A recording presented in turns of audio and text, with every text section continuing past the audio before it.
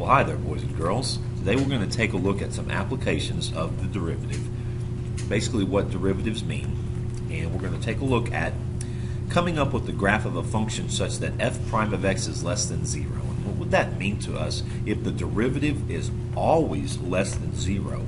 This should tell you that your graph must be decreasing, so it's decreasing. But then it says that the rate of change of the function which means also means derivative, is increasing. So the graph is decreasing, but the derivative has to be increasing or getting larger. That is going to, we're going to give that a name in a probably a couple of weeks. We're going to call that concave up. If the derivative is increasing, it's going to be concave up.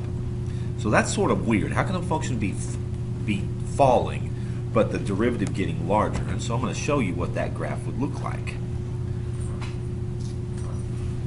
An example would probably be, a best example I can think of would probably be a negative exponential. Let's take a look at this negative exponential. I've got a graph here that is always decreasing, but what's happening to the slopes? Well, the rate of change of the function out, well, out here to the left, that is a very steep negative. So this is a big negative slope.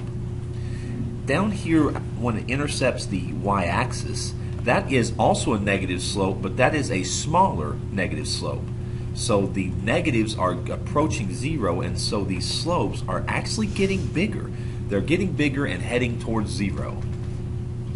So that would be an example of a graph that's decreasing, but the derivatives or the, the tangent lines are actually getting larger. At least their slopes are getting larger. So it could be like negative 5, negative 1, negative 1 half, almost zero. Those are get those are increasing. All right, let's do another one. Um, find a and b so that f is differentiable everywhere. This means two things. First of all, it must be continuous. And on top of that, the slopes have to match. The derivative from the left from the left has to equal the derivative from the right. So let's write down a couple of equations. First of all, for continuity, we need ax squared plus 1 to equal bx minus 3 when x is 2.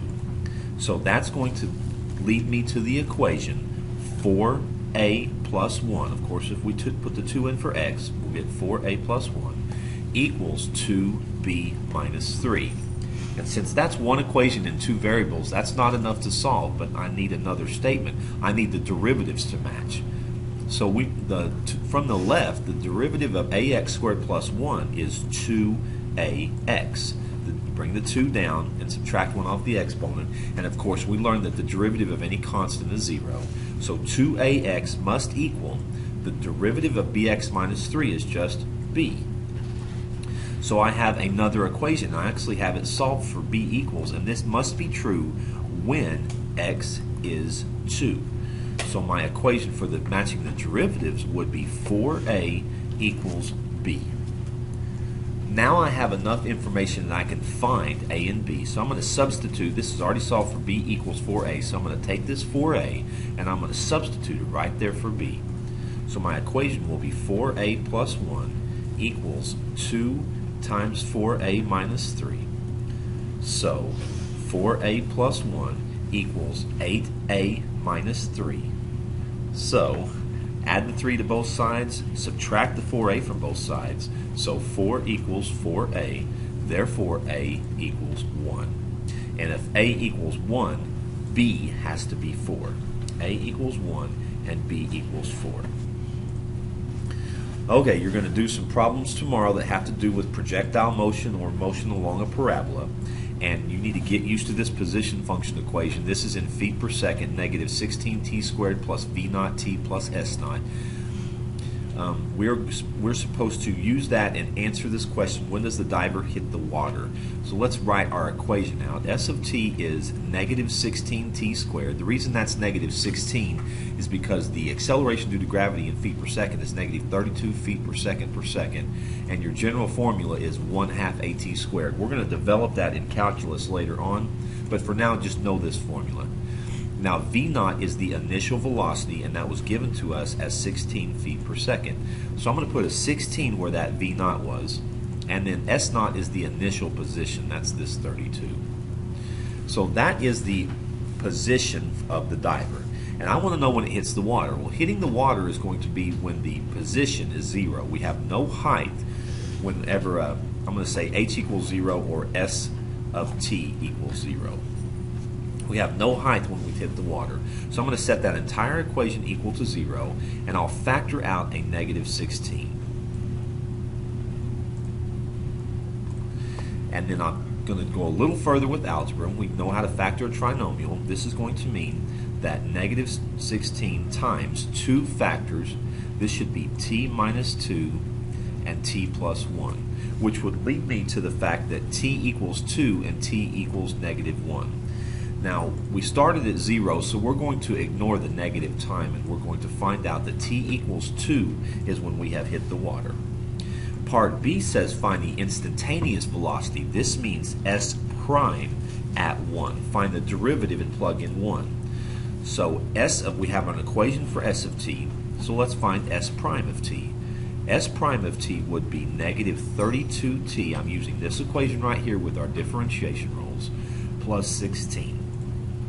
And of course the derivative of 32 is 0. So now I'm going to plug in 1 for t and I get negative 32 plus 16, which is negative 16 feet per second. Excuse me.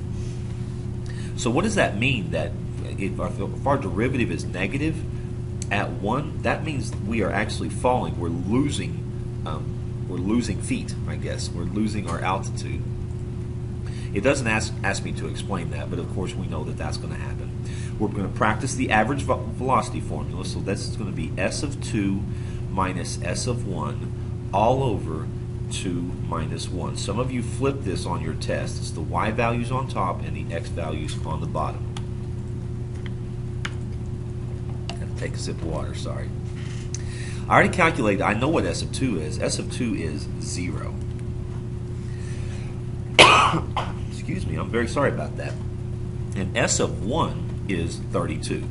I got that from my calculator, but you could plug in 1 up here and you would get that it was, oh, actually plug it in up here and you get that that's 32. All over 2 minus 1, which, give, which would give me negative 32 feet per second. On average, we're falling negative 32 feet per second. Okay, so let's go take a look at one last example, you're going to have to draw some velocity functions from a position function. You need to know that velocity is the first derivative of position. So it describes the slope to position. So here's your position function. Let's take a look at these slopes. This, ha this has three unique slopes. Let's take a look at the slope from 0 out to 4. From 0 out to 4. This is a constant slope. It looks it's going up 3 over 2 up 3 over 2. It's a constant 3 halves. That means that my velocity graph will have a horizontal or a constant value of 3 halves, one and a half, right there. And I'm going to draw that until I get to 4. 1, 2, 3, 4. I am going to draw a straight line to that point. I'm going to try and do it with this. And I'm going to put an open circle right there. I didn't do a very good job with that line, showing you the half but that is three halves. Why is there an open circle there? Why don't I have a derivative at the point 4?